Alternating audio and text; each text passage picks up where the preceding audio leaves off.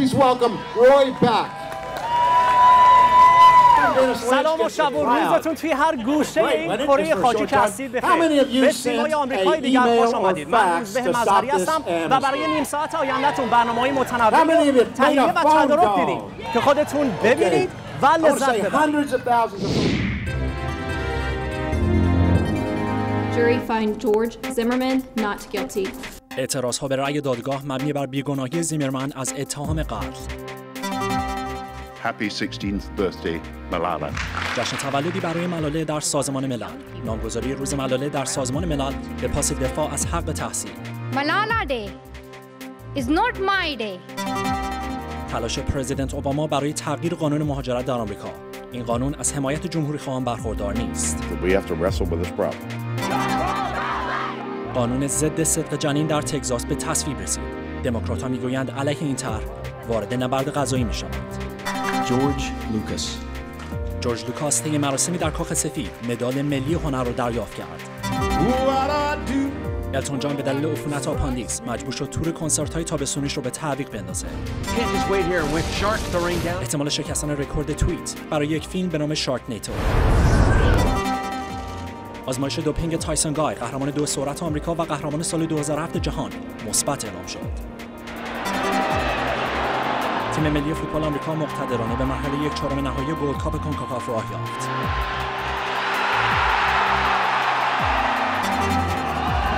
تیم روینگ هشت نفره آمریکا در رقابت‌های جهانی سوئیس رکورد جدیدی را از خود به جای گذاشت.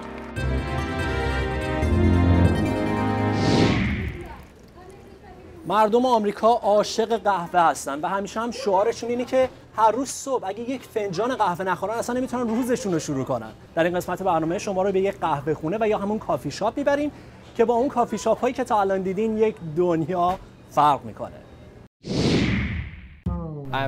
جوئل فینکلشتاین من جوئل فینکلشتاین هستم. ما اینجا توی محله پتورث واشنگتن یه مغازه قهوه فروشی کوچیک داریم به اسم کوالیا که محل فروش قهوه تازه بوداده است. کیفیتی که قهوه ما رو باهاش می‌شناسن. ماهی بین 12 تا 14 پوند قهوه رو به روش مخصوص بو میدیم و بلافاصله میفروشیم. من سالهای سال گزارشگر بودم تا اینکه به قهوه علاقمند شدم. روزهای تعطیل آخر هفته قهوه بو می‌دادم و آماده می‌کردم. اینکه بالاخره پشت خونم دم و دستگاه مخصوص قهوه بو دادن رو راه انداختم که در واقع دستگاه باربیکیو پیشرفته بود. کارم شده بود اینکه روزهای جمعه قهوه بو بدم و روزهای تعطیل برم شنبه بازارها و قهوه‌ام رو بفروشم. تصمیم گرفتم به جای اینکه 700 پوند قهوه توی آشپزخونه نگه دارم به طور تمام وقت قهوه بفروشم.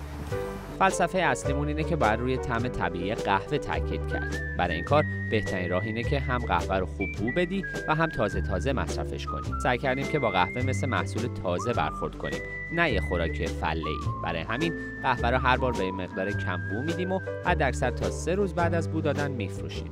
معمولا لازمه که قهوه رو بعد از بو دادن یکی دو روز کنار بگذاریم. ایدئال اینه که قهوه رو بین 3 تا 5 روز بعد از آماده شدن یعنی موقعی که بهترین عطر و طعمش رو داره به دست مردم برسونیم. برای همین همه قهوه‌ای که ما توی مغازه دم می‌کنیم حد اکثر یه هفته پیش آماده شد. کوالیا یه مفهوم فلسفیه و به این واقعیت اشاره داره که آدم‌ها تجربه هایی دارن که نمی‌تونن به زبون بیارن و به دیگران منتقل کنن. کوتاهترین تعریفش اینه. تجربه های بیان نشدنی حواس. این ایده که می‌تونین قهوه رو بچشین و این یه تجربه منحصر به فرده. ولی نمی‌تونین این تجربه رو با کلام به دیگران منتقل کنین. کوالیا یعنی مکاشفه و کشف این تمها برای خودتون. بهترین فروش محلی من یا جلوی مغازمه که خودم کنترل می‌کنم یا توی بازار روز. کاری که می‌کنیم اینه که قهوه رو مثل یه فرآورده کشاورزی تازه به دست مشتری میرسونیم. البته متاسفانه بازار روز به قهوه اینجوری نگاه نمی‌کنه. ولی من فکر می‌کنم این موضوع مربوط به فرهنگ غذایی توی واشنگتنه قهوه تازه بوداده یه محصول تازه است و مثل میوه های دیگه فاسد شدنیه. من شخصا به قهوه‌ای که 9 یا 10 روز از بودادنش گذشته فکر نمی‌کنم چون عطر و طعمش رو خیلی زود از دست میده. یه محصولیه که خیلی زود مونده میشه. واسه همین خیلی بهتره که توی محل بوداده بشه. خیلی سخته اونا رو متقاعد کنی که قهوه باید توی بازار روز فروخته بشه. چون مثل بقیه فرورده های بازار روزه. چون تولیدش کار حرفه‌ایه. یه محصول فاسد شدنیه و یک محصول محلیه. خیلی حیفه که اونها این نکته رو متوجه نمیشن.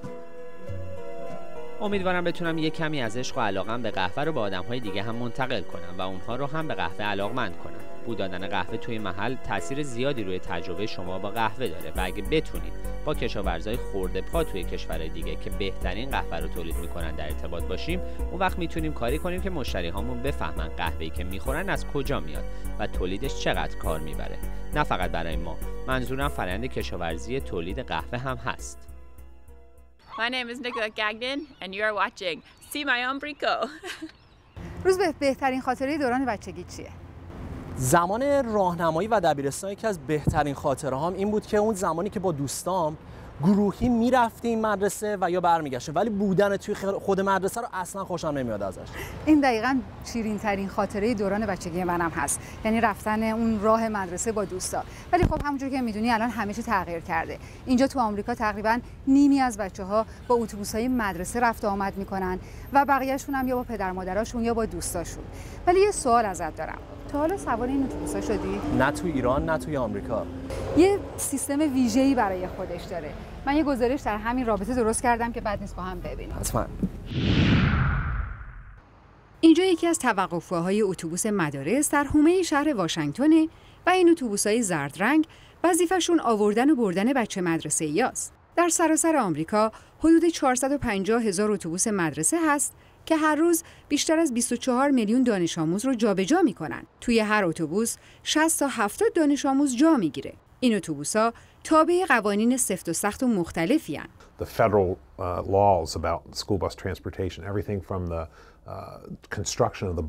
نوع فعالیت و ایمنی اتوبوس های مدرسه و مشخصات راننده اتوبوس رو قوانین فدرال یا کشوری تعیین می‌کنه. هر ایالتی هم مقررات دیگه مثل عدم سوء پیشینه راننده به اینها اضافه می‌کنه. اما ضوابط منطقه‌ای هم هست که با جزئیاتی مثل برنامه روزانه اتوبوس ها و تک تک راننده ها سر و کار داره. این اتوبوس های زرد رنگ محصول سه کارخانه بزرگ اتوبوس سازی در آمریکا هستند. بلوبرد، اتوبوس آیسی و توماس بیل. شکل و شمایل این اتوبوس ها با بقیه همقطاراشون فرق داره. سقف اتوبوس طوری طراحی شده که تحمل دو برابر وزنش رو داره تا موقع تصادف مقاومت کافی داشته باشه. برای ایمنی بیشتر پنجره ها رو کوچیک طراحی کردن. بلندی صندلی ها هم برای محافظت بیشتر از بچه هاست. صندلی اتوبوس به این سبک درست شده که صندلیا می‌تونه کمربند ایمنی هم داشته باشه و این کمربند ایمنی موقعی استفاده میشه که بچههایی که حالتهای خاصی دارن ناتوانی های جسمی حرکتی دارن از این صندلی ها استفاده می‌کنن با کمک راننده اتوبوس های مدرسه علاوه بر در ورودی چند راه خروج دیگه هم دارن هر اتوبوس یک در خروج اضطراری داره و 6 پنجره خروج اضطراری به اضافه پنجره پشت که پنجره خیلی بزرگی هم هست و اونم تو مواقع اضطراری ازش استفاده می‌کنن برای خروج و به اضافه دو تا دریچه هست که توی سقف اتوبوس طبیعه شده و اینا برای مواقعی هستش که نتونن از پنجره ها استفاده بکنن هر اتوبوسی کپسول آتش نشانی و علائم هشدار دهنده هم داره. جون دانش آموزان در گروه سالم بودن این اتوبوس‌های زرد رنگه. Buses are checked every 30 operating days. Uh, they get a, a, a first level kind of a minor inspection. علاوه بر بازدید ماهانه سه بار در سال موتور و قسمت های داخلی اتوبوس باید بازدید بشه و سالی یک بار هم از ایالت بازرسی میشن که از سلامت کامل اتوبوس اطمینان حاصل بشه راننده ها روزشون رو با بازدید کامل اتوبوس شروع می‌کنن از آب و روغن گرفته تا بازدید چند مرحله چراغ ها مثل مرحله هست که باید چراغ های بیرون چک بشه و این مراحل نمی‌تونه تو هم انجام بشه با یک بار دیدن. اول راهنما سمت چپ به اضافه اون دو تا چهار تا چراغی که چراغ زردی که باید روشن بشه قبل از توقف کامل جلو و عقب اتوبوس هست. مرحله بعدی راهنما سمت راست هست به اضافه بازویی که باز میشه حساب که بغل هست باز میشه و چراغ قرمز جلو عقب. که اونا روشن میشه. و مرحله چهارم چک کردن فلاشر هست. چهار تا راهنمایی که تو عمل روشن میشه و چراغی که روی سقف اتوبوس هست که به صورت چشمک زنه بعد از بازدید کامل ماشین تمام موارد باید در دفترچه گزارش اتوبوس ثبت بشه. فقط این اتوبوس ها نیستن که باید هفخان رستم رو بگذرونن تا بچه ها رو سالم به مقصد برسونن. راننده ها هم بعد از پذیرش اولیه باید یک دوره آموزشی سه هفته ای رو بگذرونن. از مهارت رانندگی، آزمونای سلامتی و اعتیاد و رفتار درست با بچه ها گرفته تا آموزش کمک های اولیه و نحوه مواجهه با خطر. حتی دعوا و مرافع بچه ها توی اتوبوس. Um, is fairly elaborate. That's required by the federal government, and it requires us to test folks before they come aboard, so pre-service. طبق قوانین فدرال هر راننده قبل از شروع کار باید تست اعتیاد به مواد مخدر و الکل بشه. اگر راننده تصادف بکنه این تست دوباره تکرار میشه. از هر راننده ای هم ناگهانی و اتفاقی همین تست ها رو می‌گیرن. با وجود مراحل طولانی و مسئولیت سنگین، راننده ها از مزایایی مثل بیمه درمانی کامل، بیمه عمر و بیکاری برخوردارند. اتوبوس رانای مدارس ساعتی کار می‌کنن. ساعت کاریشون بستگی به تعداد رفت آمدی داره که براشون برنامه ریزی شده. ساعتی که راننده های اتوبوس مدرسه اینجا کار می‌کنن خیلی متفاوته. از صبح که شروع می‌کنن از معمولا از دبیرستان مدرسه راهنمایی و بعد دبستان تموم میشه. وسط روز ممکنه که گردش های علمی برن تا دوباره بعد از ظهر برای برداشتن بچه ها شروع می‌کنن دوباره از دبیرستان راهنمایی و دبستان. که روزشون رو اینطوری تموم می‌کنن. حتی بعضی موقع بعد از آخرین دبستانشون ممکنه که دوباره گردش های علمی باز مسابقات ورزشی انجام بدن که یه موقع تا شاید 9 و 10 شبم بعضیشون می‌کشه. این اتوبوس های زرد رنگ در آمریکا مثل گاو پیشونی سفیدن. فرقی نمی‌کنه توی یک کوچه باریک ایستاده باشن یا سر یک چهارراه شلوغ یا وسط یک جاده روستایی. همه ماشینای دیگه موظفن کامل توقف کنن تا اتوبوس مدرسه علامت های ایستش رو جمع کنه و دوباره به راه بیفته. I'm Nuria. I was born in Barcelona in Spain. You are watching CMIA America.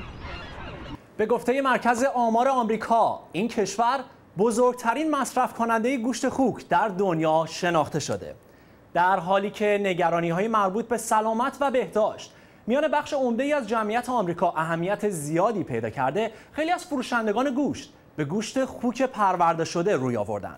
کریس جانسن صاحب یکی از مراکز پروراندن گوشته. اون شیوهی برای نگهداری و پروراندن گوشت خوک پیدا کرده که شامل خشک کردن و طعم دادن به آنهاست. My name is Christopher Johnson. I'm the owner of Cured DC. اسم من کریستوفر جانسون و صاحب فروشگاه کیورد DC هستم. کار من نگهداری و پروراندن گوشته. ما با هر گوشتی کار می‌کنیم. از بیفتک گرفته تا جرکی و ژامبون و هر نوع سالامی. This one's a little bit stronger than the last batch I made. من کار پروروندن گوشت رو سه چهار سال پیش شروع کردم. در اروپا بود که به این کار علاقه من شدم. اونجا یه فروشگاه اسپانیایی بود که هامون سرانو قصابی می‌کرد و آخر هفته ها هم چوریسو اسپانیایی درست می‌کرد.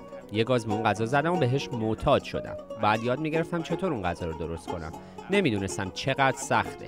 وقتی برگشتم آمریکا وقتم رو با کار پروراندن گوشت میگذروندم ولی برام خیلی جدی نبود. اصلا فکر نمی‌کردم یه روز به صورت حرفه‌ای این کار رو بکنم. خیلی خوششون اومده بود. به همین خاطر به صورت جدی مشغول کار پروراندن و محافظت گوشت شدم.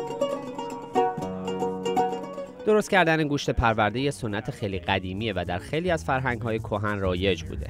اولین شیوه تهیه گوشت پرورده نمک سود کردن اون بود. خوابوندن گوشت توی نمک از ورود و رشد باکتری های مضر به گوشت جلوگیری می‌کنه. مراحل پروراندن گوشت الان کمی فرق کرده و از شیوه های مختلفی برای این کار استفاده میشه. الان راحتتر میشه محیطی رو که گوشت توش قرار می‌گیره کنترل کرد. بعضی گوشت ها رو طولانی تر از بقیه باید پرورد. از دو سه هفته گرفته تا 18 ماه و حتی بیشتر. ما اینجا دیگه با گوشت حیوان زنده سر و کار نداریم. هرچی از مرکز گوشت می‌گیریم از قبل قصابی شده. من یا یک خوک کامل می‌گیرم و یا نصف خوک. We're here at uh, Truck Patch Farms meeting uh, Brian Kearney, the owner and head farmer. به دامداری تراک پچ اومدیم تا برایان کرنی صاحب اینجا رو ببینیم. او توی دامداریش خوکهای طبیعی و با بهترین کیفیت رو داره. می‌خوایم بریم یه دوری توی دامداریش بزنیم و ببینیم چطور این کار رو می‌کنه و اینکه اهمیت محصولاتش برای کسانی که توی کار پروروندن گوشت هستن چقدره. وقتی گوشت خوکی رو می‌خوریم که در دوران زندگیش تحت فشار بوده اون استرس ها وارد بدن ما میشه. خیلی ها به این نکته توجه نمی‌کنه ما اینجا سعی می‌کنیم خوک ها زندگی آروم و طبیعی داشته باشند. فواید زیادی دارند. گوشتی که ازش گرفته میشه کیفیت خیلی خوبی داره. چربی ها و چیزهای دیگش برای پروراندن به اندازه ایداله. اگه تحت فشار باشن لاغر میشن و چربی طبیعیشون از بین میره. گوشهایی که قبل از دهه 1950 وارد بازار می‌شد خیلی طبیعی بودن حیوانات رو اون موقع توی مزارع بزرگ می‌کردن تا طبیعی بخورند و زندگی کنند ولی الان مثلا توی یه مرغداری کوچک ده هزار تا مرغ میچپونن این طبیعی نیست. البته تعداد گوشخورها هم خیلی زیاد شده. وقتی چند بار به دامداری برایان رفتم فکر وارد شدن به این حرفه به سرم زد. بعد یه بار با برایان نشستم تا ایدم رو مطرح کنم و ببینم نظرش راجع به این کار چیه و اینکه می‌تونه یکی از منابع گوشتی من باشه یا نه. بعد از گذشت دو سال همکاریمون پایه گرفت و جدیتر شد. به نظر من نتیجه خوبی داشته. او آدم خوبی و دامداریش هم عالیه. مهمترین چیز برای من همینه. اینکه بدونم گوشتم از کجا میاد و با کی دارم معامله می‌کنم. نمی‌فهمم چرا بعضی از گوشت خوک خوششون نمیاد. حیوانات عالی هستن خیلی باهوشن. به نظرم خیلی مهمه که آدم فرایند تهیه گوشت خوک طبیعی رو ببینن. چون چیزی که توی سوپرمارکت می‌بینن فقط یه تیکه گوشت لای پلاستیکه. هر گوشتی که باشه شما نمی‌دونین چطور درست شده و یا اون حیوان چه زندگی داشته. من فکر می‌کنم اگه گوشت خوک خیلی دوست داری بعد برید و شیوه و محیط زندگیشون قبل از قصابی رو ببینید اونا گوشت شما رو فراهم می‌کنن حداقل کاری که میشه کرد اینه که یه احترامی براشون قائل باشیم و سری به زندگی روزمرهشون بزنیم به نفع خودمونه که این خوک در محیط باز به صورت طبیعی و بدون آنتی بیوتیک و هورمون بزرگ بشن و زندگی کنند. باید محیط زندگیشون تا جایی که ممکنه طبیعی باشه. بیشتر گوشتی که یک آمریکایی متوسط در طول زندگیش مصرف می‌کنه ناسالمه. این گوشتایی که ما زیاد مصرفشون می‌کنیم پر از آنتی بیوتیک و موادیه که نباید وارد بدن ما بشن. ما اگه می‌خوایم درست غذا بخوریم بعد اولا میزان مصرف گوشتمون رو کمتر کنیم و بعد گوشتی که می‌خوریم سالم و طبیعی باشه. مسئله دیگه اینه که قیمت ها از دستمون در رفته. توی خود دامداری و یا بازارهای روستایی قیمت یه تیکه گوشت خب 4 5 دلاره. علتش هم اینه که هزینه بزرگ کردن خوک هایی که این گوشت رو داشته باشن 4 5 دلار میشه. علت این که می‌تونید توی سوپرمارکت محله با 1.5 دلار یه تیکه گوشت خوک بخرید اینه که اون خوک ها توی قفس های کوچک و در بدترین شرایط زندگی می‌کنن و در نتیجه ارزون ترن خوکهای اونها نمی‌تونن از قفس بیرون برن. به زور بهشون غذای آشغال میدن و بهشون آنتی بیوتیک و هورمون تزریق می‌کنن. دلیلش اینه که تو این دامداری ها حدود ده هزار تا خوک زندگی می‌کنن. در نتیجه بیماری راحت بینشون پخش میشه.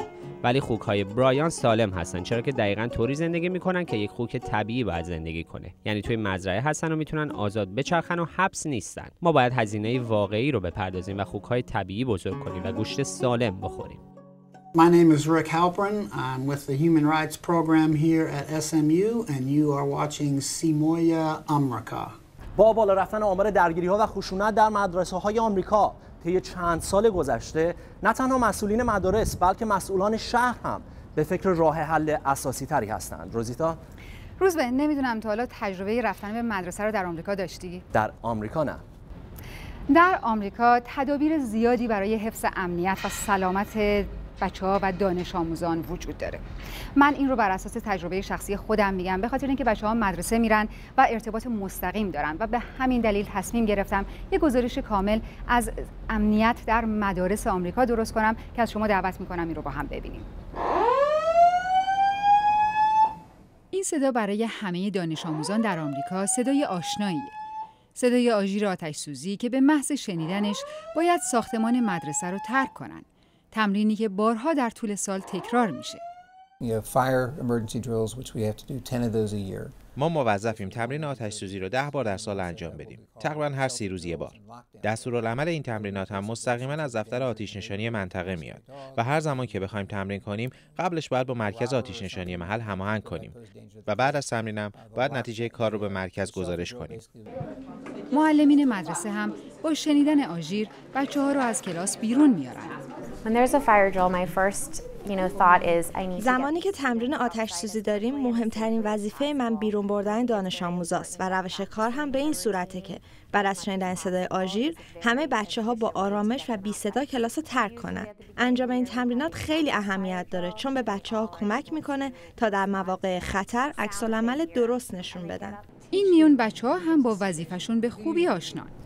We usually like go upstairs. We're already upstairs and then we have to do like کلاس ما طبقه دوم بود و وقتی تمرین آتش سوزی داشتیم همراه معلممون با آرامش ساختمون رو ترک می‌کنیم We have certain like وقتی تمرین ایمنی داریم باید از کلاس بریم بیرون و بعد از تمرین مدیر با همون صحبت می‌کنه تا مطمئن بشیم که تمرین رو درست انجام دادیم.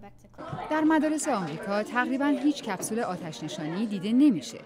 به جاش سیستم آبپاش وجود داره. زمانی که حرارت محیط به حد خطر برسه، این سیستم به کار میفته و آب زیادی پخش می‌کنه. برای پیشگیری از آتش سوزی هم آژیرهای داخلی در تمام قسمت‌های ساختمان نصب شده و اگر کسی قاب روی آژیر رو چه تصادفی و چه موقع آتش سوزی برداره این صدا به گوش می‌رسه.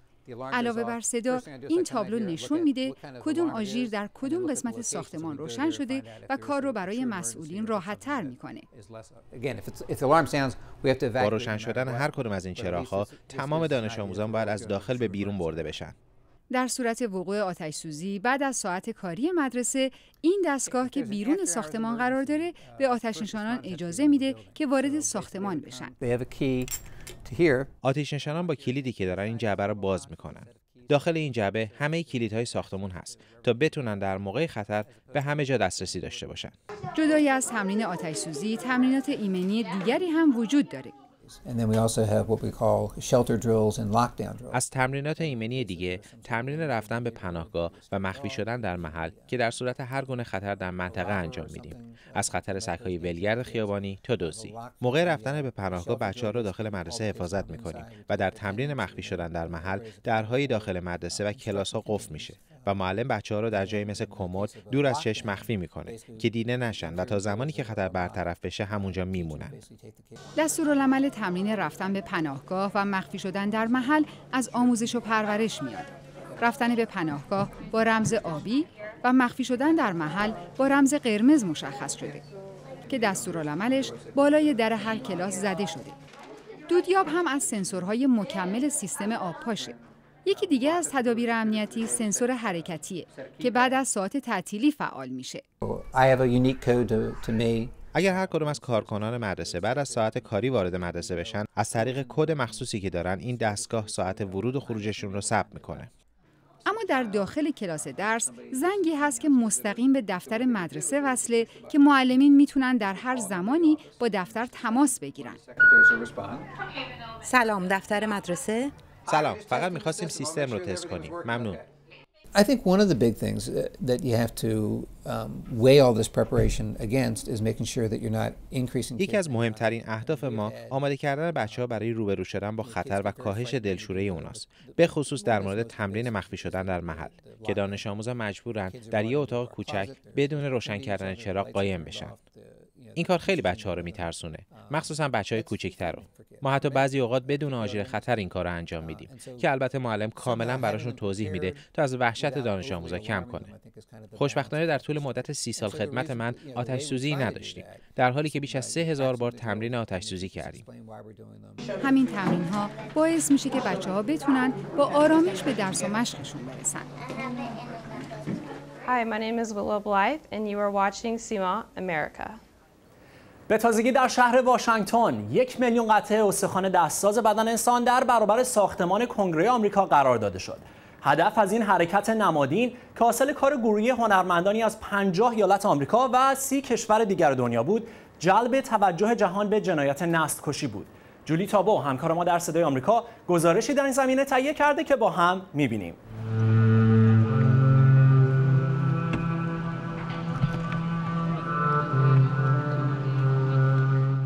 همه چیز با یک قطعه استخوان شروع شد و ظرف چند ساعت بیشتر از یک میلیون استخوان در نشنال مال واشنگتن روی هم جمع شد.